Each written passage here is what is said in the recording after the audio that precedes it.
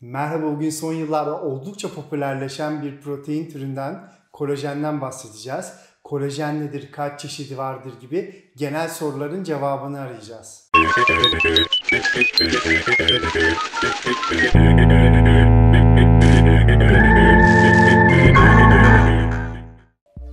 Kolajen Yunanca'da yapıştırıcı anlamına gelen kolla kelimesinden türetilmiş yapışkan oluşturucu demektir.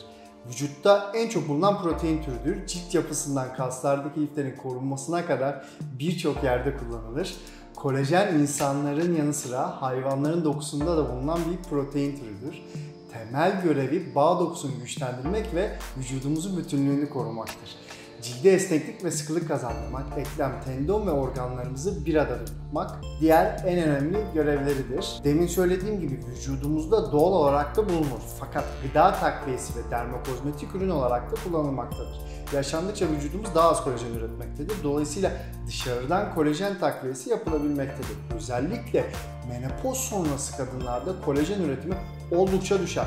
Bu da ciltte ve bağ dokularında, eklemlerde sıkıntılar yaratabilir. Tabii ki bilinenin aksine birçok çeşidi vardır. En çok bilinen türü tip 1, tip 2 ve tip 3 kolajendir. Tip 1 ve tip 2 ile ilgili detaylı bir video ilerleyen günlerde yapmayı düşünüyorum.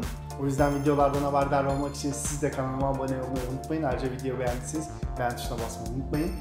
Şimdilik sadece genel olarak kolajen hakkında kısa bilgi vereceğim. Kolajenin bilinen en az 16 türü vardır. Hatta bazı kaynaklarda 21 tane gösterilir. Fakat vücudumuzdaki kolajen %80'i tip 1, tip 2 ve tip 3 kolajenden oluşmaktadır. Tip 1 kolajeni özetlemek gerekirse kırışıklık karşılığı, cilt elastisitesini artıran, nemlendirmeye yardımcı olan kolajen türüdür kas yapısının onarılmasında, gözlerde ve kemiklerimizde rol oynar.